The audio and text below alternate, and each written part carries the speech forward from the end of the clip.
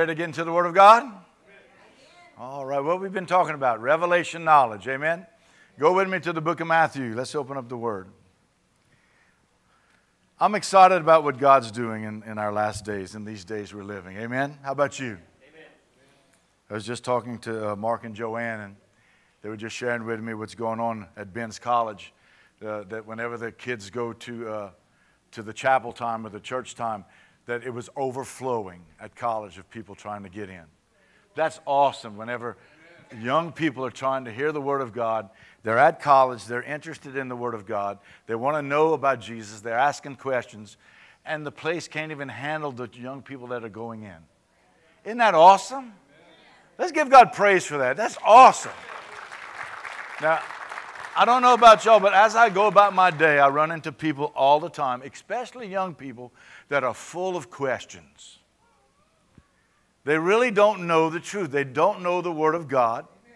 And some of them are picking up their Bibles and beginning to read them on their own. And as they're reading it, they don't really understand what they're saying because they don't really know God. And you have to have a relationship with God. You need the Holy Spirit to teach you. Amen? Amen? They can open up the Bible, they read, say, I don't understand that. Well, ask God to teach you, ask God to reveal it to you. And just this week, a couple of times, I'm sitting down with young people in their 20s, their early 20s, and they're asking questions. What about this? What about that? What does this mean? And they're reading stuff in the scripture. One of them asked me, What does it mean that the life is in the blood? What a question. They were reading that in their Bible. It says the life is in the blood. It says, what does that mean? Well, guess what? If you don't have any blood, you don't have no life. But Jesus Christ poured out his blood on the cross. He gave his life on the cross, and that blood washes away your sin. Amen? I mean, all the way from the beginning, whenever uh, Cain and Abel uh, had their little disagreement and uh, Cain killed Abel, it says his blood cries out from the ground. Amen? In, in fact, the first commandment was to Adam what? Do not eat of the tree of the knowledge of good and evil, for the day that you eat of it, you shall surely die. And let me tell you, when you die, your blood is going to be poured out. But Jesus died in your place.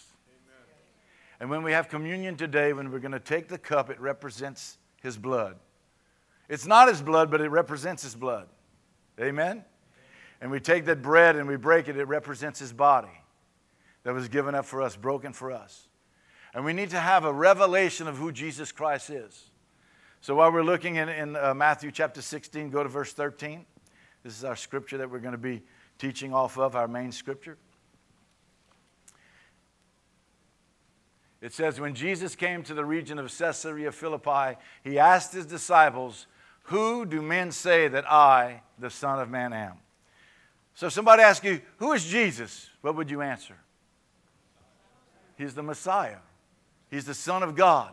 Do you really know that, or is it just a religious answer? Is it just coming from your head, or is it coming from your heart? Do you really know in your heart? Do you really believe in your heart? Because serving God comes from the heart, believing comes from the heart. Your heart is your believer, not your head. Amen? So we got to get rid of reason to a certain degree, and we got to let faith take over. Amen? So Jesus comes to the region of Caesarea Philippi, and he asks his disciple, Who do men say that I, the Son of Man, am? And what's the next scripture say? They answer all these different answers. And they said, Some say John the Baptist, some say Elijah, others say Jeremiah, one of the prophets. Now, I can ask you, who is Jesus? And you say, well, the Baptists say, the Catholics say, the Pentecostals say, but I want to know, what do you say? And where do you get that information from?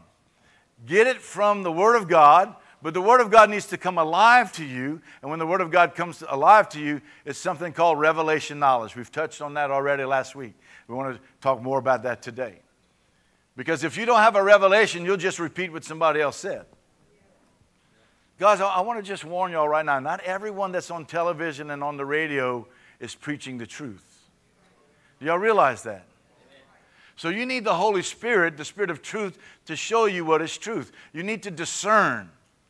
And I've learned this young people, one of the biggest problems with young men that I've met, they don't discern what's right and wrong, what's God and what's not of God, and we get in trouble. We make wrong decisions. Young ladies do it too, old ladies and old men do it too. We need to discern, and the way to do that is have revelation from God. Amen. Amen? So the next thing he says to them, he says, he said to them, But who do you say that I am? And that's the big question. I believe when you're going to stand before God on that day of judgment, He's going to say, Who do you say that I am? Well, Mama said, no, it doesn't matter what Mama said. Daddy said, Pastor Mark said. You know, whenever you hear a teaching and you leave here and you go and, and you're talking to somebody about Christ and, and you tell, well, Pastor Mark said, well, they don't care what Pastor Mark says. You should say the Word of God said, or the, you know, because you can find it in the Word and you got a revelation of who you are, who He is, because of what you read in the Word. Amen. See, if I can talk you into serving God, somebody can talk you out of serving God. Amen. But whenever God reveals Himself to you, nobody can take that away from you. Now, you can throw it away if you want but no one can take that away from you. That's called revelation knowledge. When the knowledge becomes real to you, and you know that you know that you know that you know that Jesus Christ is the Messiah, the Son of God. How many of y'all know He's the Messiah? Amen. Now, believing that, is He your Messiah? Is He your Lord? And is He your Savior? Amen. Personally. Amen. Do you really know Him? That's the question. Or do you just know about Him? See, how, how, many of y'all know uh, President Obama? No, we know about him, but how many of y'all met him and got to talk to him, you really know who he is? That's because you haven't spent time with him.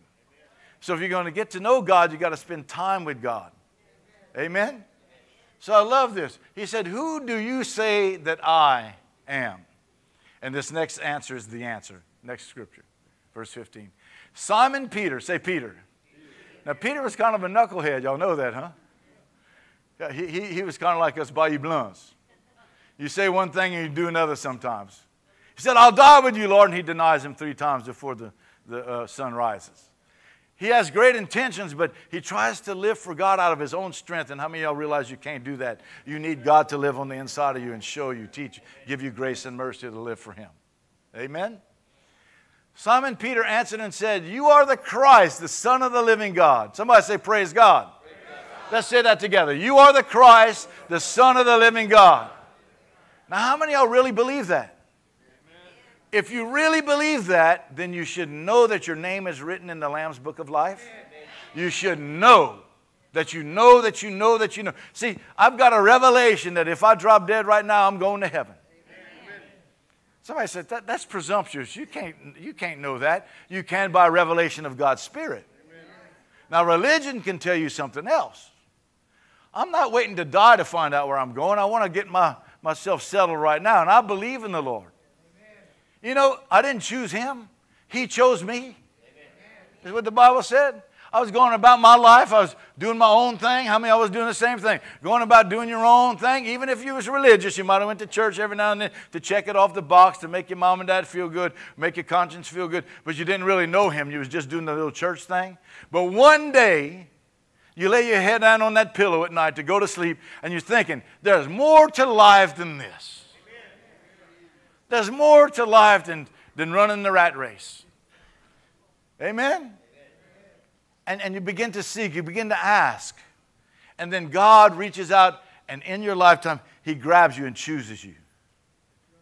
And He begins to reveal Himself to you because you're seeking Him while He may be found. How many of y'all are seeking God?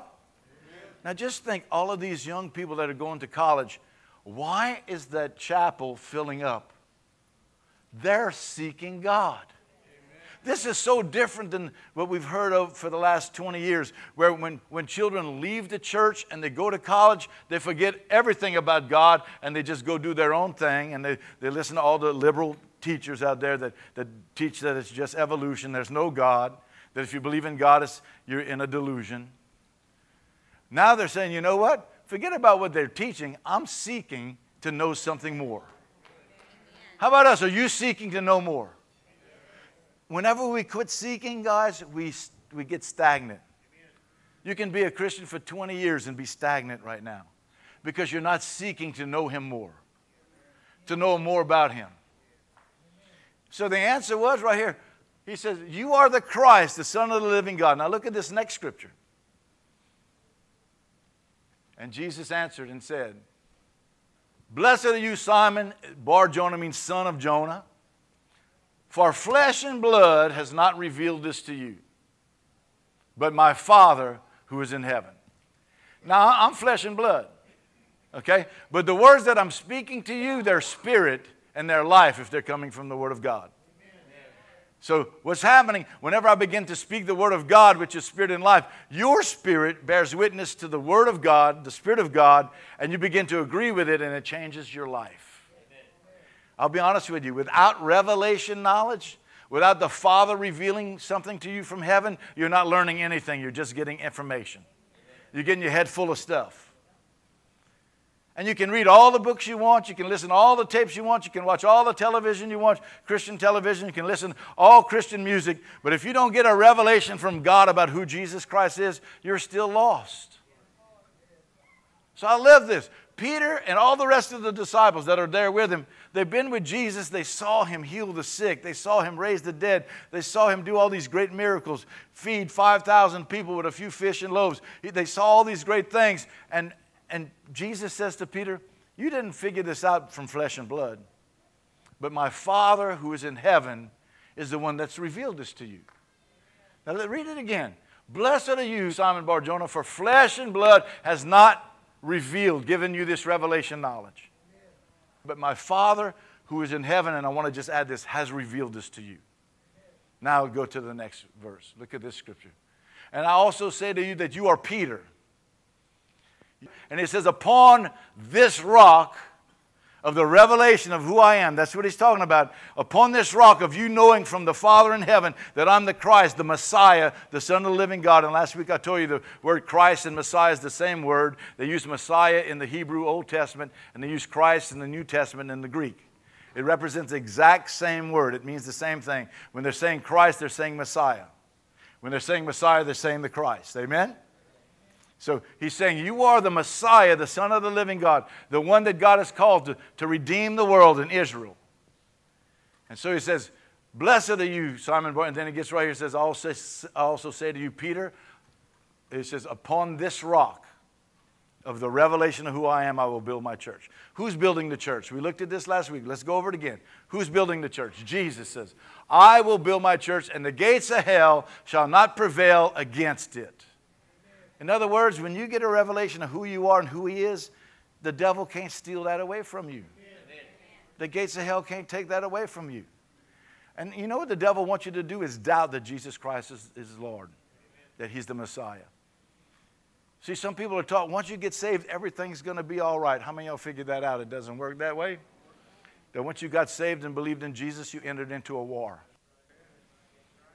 And you have armor that you're supposed to be putting on as you fight this war. So once you have this revelation that comes from heaven, and there's many revelations. You can read a scripture 20 times, and one day you're going to be reading it, and it's going to jump out at you, and you're going to get a new revelation of what that scripture means. Isn't that amazing? Because the Holy Spirit's the teacher. How many of y'all believe the Holy Spirit's the teacher? Not Pastor Mark, but the Holy Spirit in me and in you. So don't just listen to me, listen to Him as I speak. So I love this. After service or during the week, I'll run into some of you. He says, When I was sitting at church, I thought you was just talking to me, Pastor. Well, God was just talking to you. It wasn't me. God knows where you are, knows what you need to hear. And if you be listening for God, you'll hear God. So the gates of hell will not prevail against this revelation you have, against the church. In fact, you cannot be a member of the church until you believe that Jesus Christ is the Son of God. That's how you become part of the, the body of Christ. And just to, to, kind of review, last week we went to Peter, and it says that Jesus is a living stone, and upon that foundational stone, the chief cornerstone, we're also living stones that are being placed upon that rock to become a spiritual house to worship God. So the spiritual house is not this building, it's us. God dwells in us. Where two or three are gathered together in His name, there He is in the midst of us. He does not dwell in temples made with human hands. You can make a box and say, God's in that box. God's not in that box. Guess where God is? Right here. You can build a statue and God's not in that statue. Amen? In fact, as the scripture says, a man takes a, a, tree, cuts it down, takes the wood, some of it, builds a fire to cook, takes another part of the wood, and makes an idol and worships the idol. He's worshiping a piece of wood that has eyes that cannot see, ears that cannot hear, and a mouth that cannot speak. But the Apostle Paul lets us know in the New Testament that when you bow down to an idol to worship it, you are bowing down to what? Demons. Because if you give it power, then it has power in your life. Guys, y'all don't want to believe in superstition. Amen. Who was here when I did the sermon? When I took a ladder, I opened the ladder, opened the umbrella, and I walked through the, under the ladder with the umbrella and broke a mirror, I think, all at the same time. I'm still here. Superstition. If you give something power, then it has power in your life. Come on, let me tell you something. Somebody that d- dabbles in witchcraft and sorcery and psychics, they can't put a curse on me. I'm blessed. Come on, they can't put a curse on me. I'm blessed. Say, I'm blessed. Amen. So don't be believing in all that kind of stuff because if you believe in it, then it has power in your life. As a man thinketh in his heart, so is he. Or as you believe in your heart, that's what it's going to be to you. Somebody can say, I'm going to put a curse on you. You can't. Not unless I believe you can. Amen. We give the devil too much power.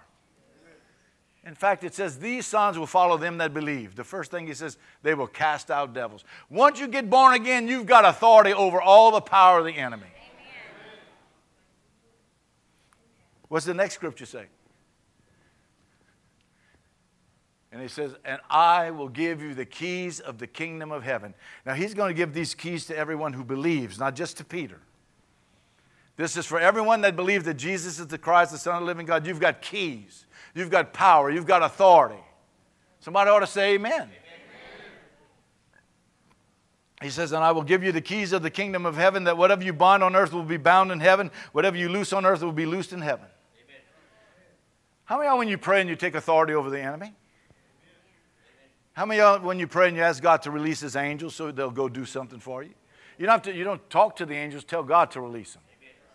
We pray to God, we talk to God, we don't talk to angels or demons.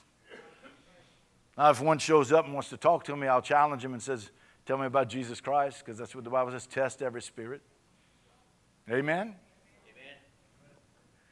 But most of us, uh, through superstition, we believe in aberrations. When Jesus shows up, he's not going to be an aberration. You're going to be able to touch him. You'll be able to eat fish with him, like he did with his disciples. When he appeared to his disciples, he said, Handle me, touch me, put your hand here. He was flesh and bone, he was not a, a ghost. Amen? Amen? So if some kind of ghost appears to you, just rebuke it. Amen? I know people have all kind of experiences. Let it line up with the Word of God. That's what you need to do. Let it line up with the Word of God. I want you to go with me to uh, Acts chapter 4. Acts 4 7.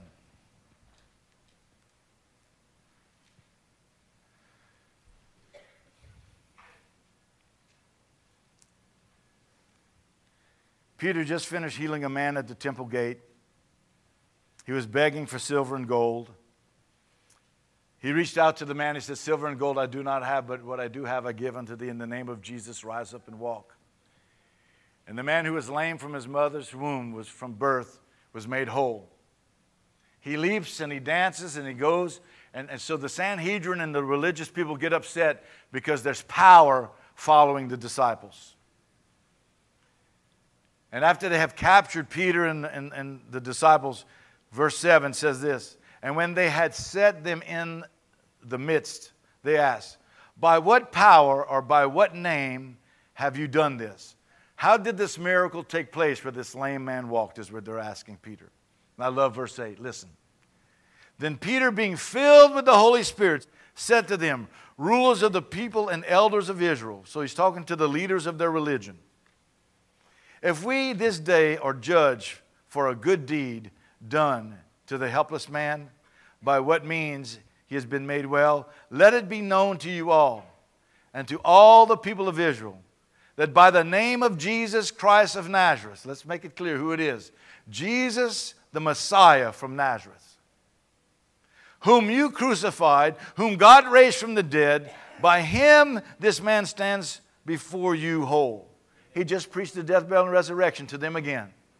And he looked right at him and says, You're the guys that crucified him, and God raised him from the dead. It's in his name.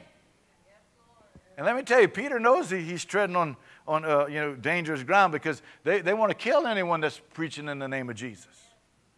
But because he was full of the Holy Spirit, not in his own strength, he wasn't afraid anymore. When you get full of the Holy Spirit, you'll do su- supernatural things. You'll do things you wouldn't do in your own flesh. You'll give up some things when you're full of the Holy Spirit. You'll follow the Holy Spirit. Amen? He says, uh, where was I? Let it be known, verse 10. Let it be known to you all and to all the people of Israel by the name of Jesus Christ of Nazareth, whom you crucified, whom God raised from the dead. By him this man stands before you whole. Listen, we studied this last week. You can get last week's tape. We're kind of building on it. It says, This is the stone which was rejected by you builders. So he's talking to the leaders, to the high priests, and those that crucified Christ. He said, which has become the chief cornerstone. So the foundation, and if we look back at, uh, at uh, Matthew chapter 16, is not Peter, it's Jesus. Jesus is the foundational rock. He's the chief cornerstone in which everything is measured and built off of. Amen? Now, verse 12, I love this. Nor is there salvation in any other, for there is no other name under heaven given among men by which we must be saved. What's that name? Jesus. Whoever calls upon his name shall what? Be saved. There is no other name under heaven given among men by which we must be saved. There's one Savior. He is the way, the truth, and the life. No one can come unto the Father except through Him. There's no other way to God. So, Jeremiah, or like you said, uh, one of the prophets, he's not one of those. He's the Messiah. He's the way, the truth, and the life. And no one can get saved any other way but by him. Go with me to 1 Peter. I mean 1 Timothy chapter 2.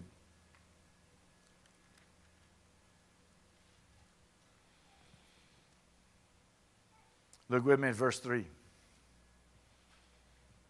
1 Timothy 2, verse 3. When you get there, say, Praise the Lord. It says, For this is good and acceptable in the sight of God, our Savior who desires all men to be saved and come to the knowledge of the truth. God wants us to get the revelation of who Jesus Christ is. And He's going to tell us what that truth is. This is a good thing right here. This is what God wants. He desires that all men be saved and come to the knowledge of the truth. Look at verse 5. For there is one God and one mediator between God and man, the man Jesus Christ. How many mediators between God and man? One.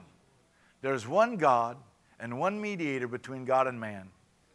And I love it. It says, the man, Jesus Christ, who gave himself a ransom for all to be testified in due time. So, whenever we start believing that there's another mediator or we can go to God another way, we cannot go to God another way. God, it sounds very uh, narrow minded whenever I say there's only one way to God and it's Jesus Christ. We have a lot of religions in the world. We've got Muslims, we've got all kind of different religions. But the Bible teaches that Jesus Christ is the only way to God. He is the Messiah, and we need to have that revelation, and we need to preach that to other people so that they can come to the same revelation that you have that Jesus Christ is the Son of God. If they don't, they will be lost. If they reject Him as Messiah, they will be lost. We have a job to do. We're to go out and tell people about Jesus Christ and what he did for us. Go with me to first, uh, uh, 2 Corinthians chapter 5.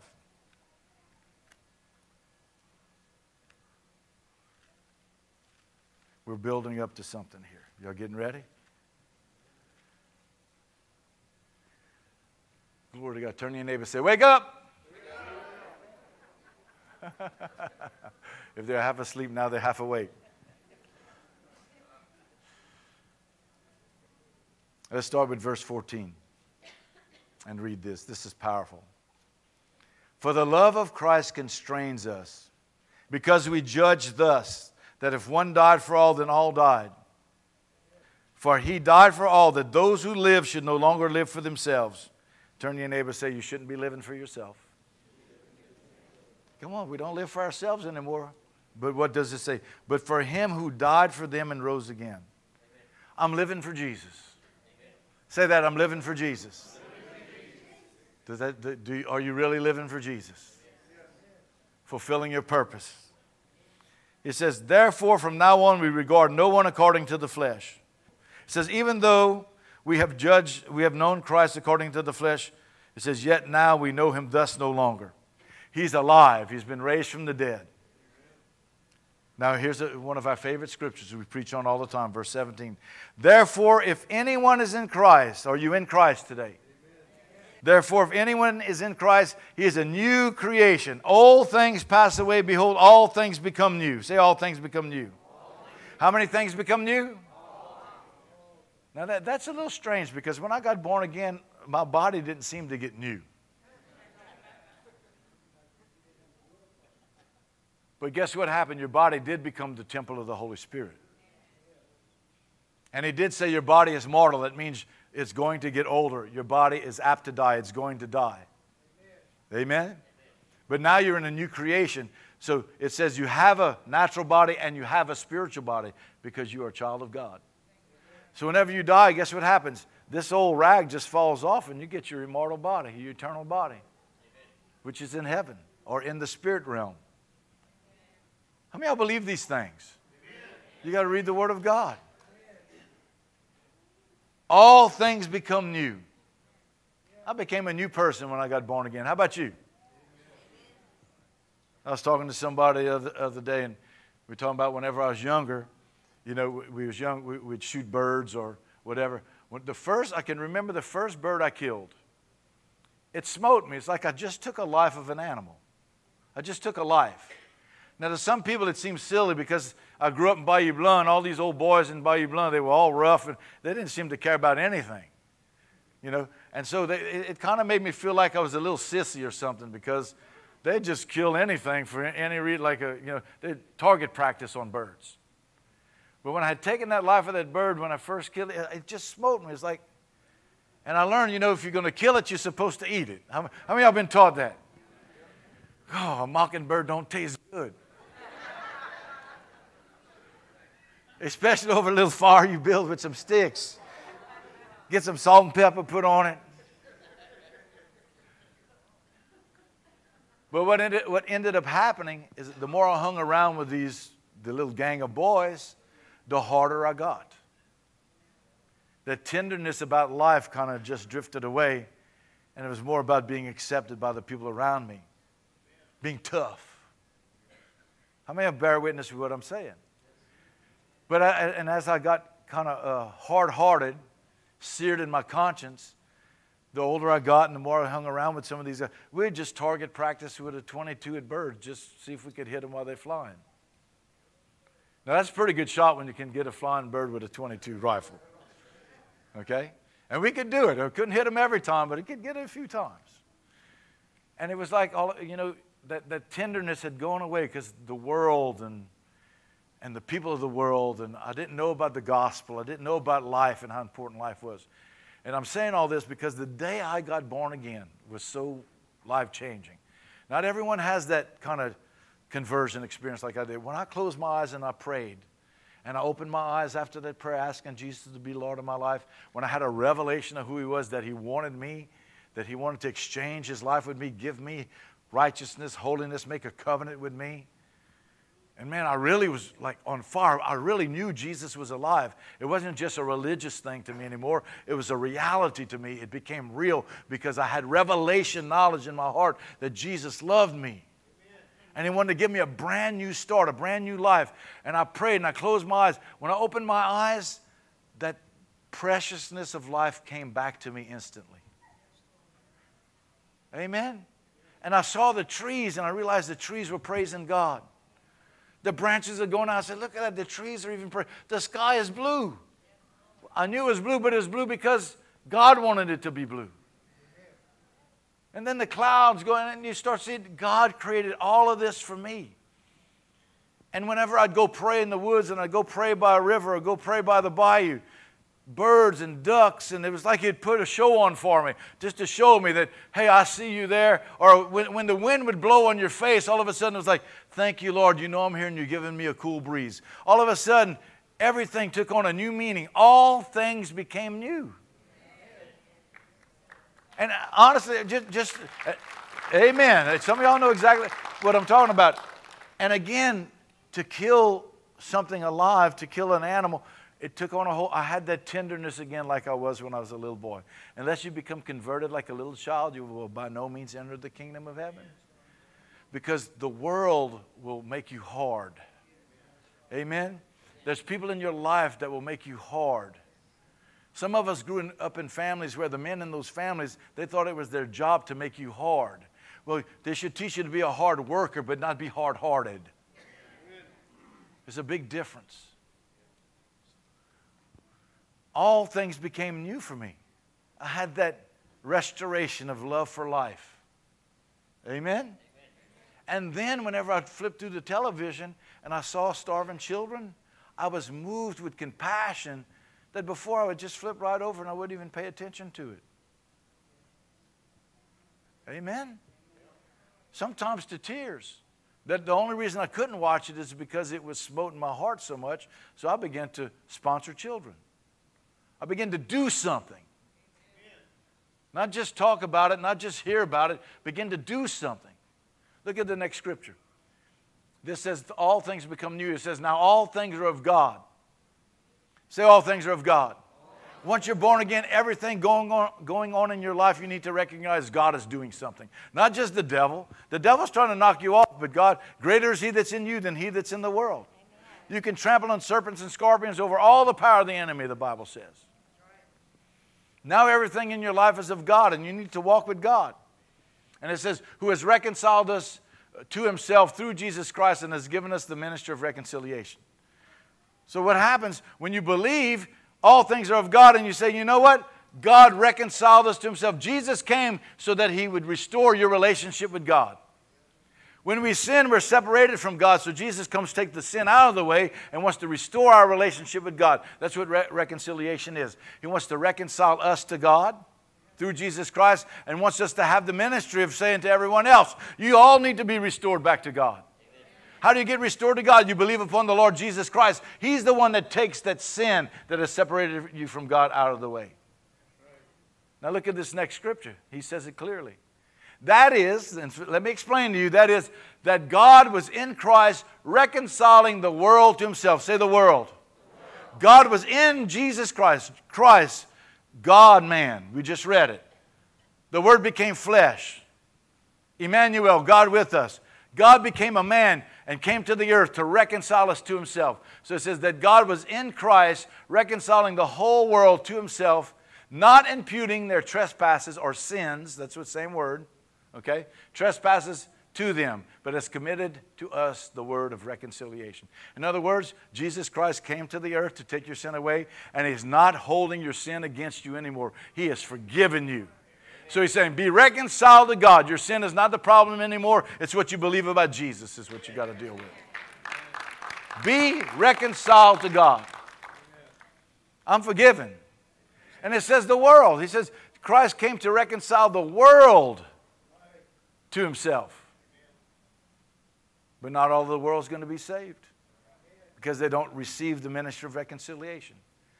Not imputing, not accounting, not holding my sin against me. Whenever I got born again, that was one of the main things that was in my mind. When I was giving my life to Christ, I realized all my sins were going to be forgiven. I was an excited man. Amen. Amen. And you know, as we live with Him, even when we still sin, we can confess our sin. He's faithful and just to forgive our sin and to cleanse us from all unrighteousness and restore us back to righteousness. So, guess what the message is to the whole world? When you believe on the Lord Jesus Christ and accept Him as for who He is, God's not going to hold your sin against you anymore. Isn't that what the Word of God says? Not imputing, not accounting, not holding their trespasses or their sins against them, but it's committed to us the word of reconciliation. So I need to go out today, and you need to go out today and tell everybody listen, y'all can be restored to God. God's not holding your sin against you. Amen. It doesn't matter what you did yesterday, it matters what you believe today. Look at the next scripture. He says, Now then, we are ambassadors. I'm an ambassador. How y'all like my ambassador suit? It's a spiritual suit, it's not what you wear on the outside. Amen? It's not your clothes, it's what you believe. It says, so it says, now we are ambassadors for Christ. How many of you know what an ambassador is? It's a person that represents another kingdom or a king, a king in his kingdom, and you're, you're in a different place. Like an ambassador for the U.S. can be, you know, in, in uh, Korea. And they represent all the authority, all the power, all the laws of the land of the U.S., and they're in another land. Well, guess what? I represent all the power, all the authority of the Lord Jesus Christ in the kingdom of God, and I'm in another land called the earth. And I have His power, His authority, and His word, and I'm supposed to be speaking that everywhere I go. Wow. Not, uh, it says, we are ambassadors for Christ as though uh, God were pleading through us. And guess what? God is pleading through me and through us. We employ you on Christ's behalf be reconciled to God. So when you see somebody in trouble, you need to just say, you know what? God restored me, and He'll restore you. I represent His kingdom, I represent Him. Be reconciled to God. He's not holding your sin against you anymore.